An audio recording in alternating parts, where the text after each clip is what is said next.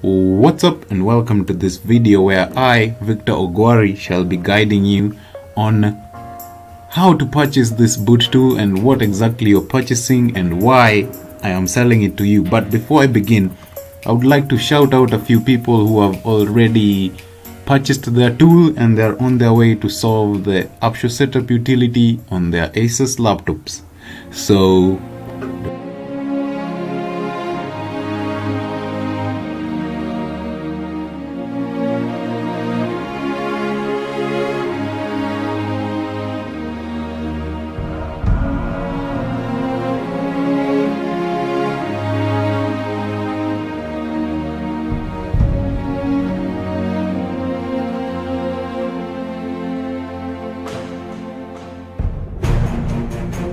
Okay, back to the boot tool purchase.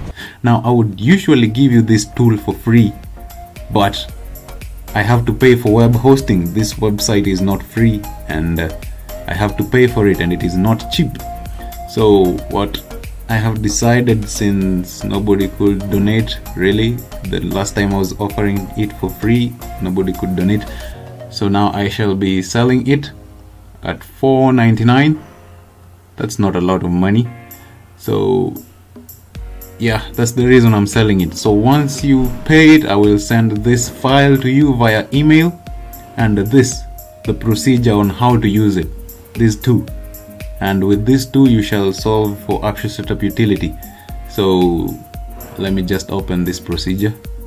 It's a powerpoint presentation as you can see boot tool procedure thank you for the support for your support. This is after you have paid for the tool. Any queries shall be forwarded to my email. Things you'll need.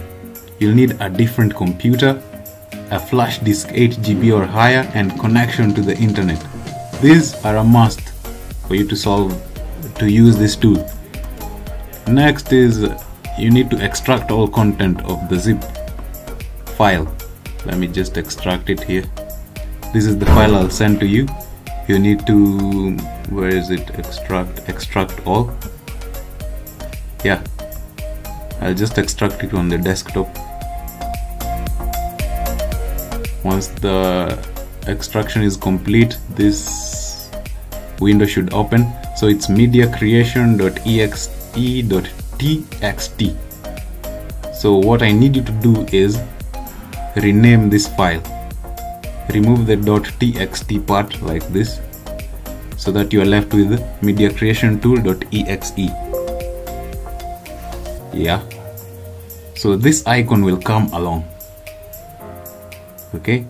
Now from here I need you to plug in remember this is a different computer. Plug in your flash disk which is 8 GB or higher into that computer that you're using. Then run this media creation tool.exe and then you'll have such a thing blue whatever for windows. So as you as you can see we are following the procedure on the powerpoint presentation that i will also send you. We extracted all content of the zip file. Then next you should have such a file .exe.txt as the final extension for those who don't have extensions, I shall be making another video on how to show these extensions. Some are hidden by default settings of the computer. That should not worry you. If it doesn't, just inform me via email. I shall direct you. I shall direct you, I mean. So rename the file. This is exactly what we have done. We deleted the txt part. Now we are left with .exe for those who have extensions. I repeat, for those who don't, I shall be making another video, so stay tuned by subscribing. Um, once that is done, double click the media tool, the media creation tool to run it and accept the changes. I think you have done that. And this is the Windows thing that has up, uh, appeared. So up to here we have followed the procedures on the PowerPoint presentation.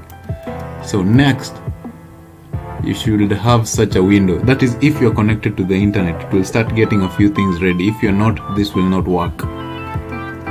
So application, blah blah blah. These are the license terms which you'll need to accept. You have to accept them for this process to go on if you decline them it will just stop and that will be redundant now check the lower circle and that circle is normally written uh, create installation media blah blah blah. This one we are not upgrading this pc we are creating an installation media. Then click next. Then choose your custom language which most of the time is english us press next. Then you select USB flash drive not ISO file. And press next because you have a flash disk. See at least 8 GB press next. Then the name of your flash disk should appear as shown here. And after pressing next in the previous uh, previous dialog box when you press next it brings you to this one where the name of your flash disk is written here. Then press next again. Then the download will begin. Now this place needs some patience I tell you it will take some time for it to reach 100% but eventually it will.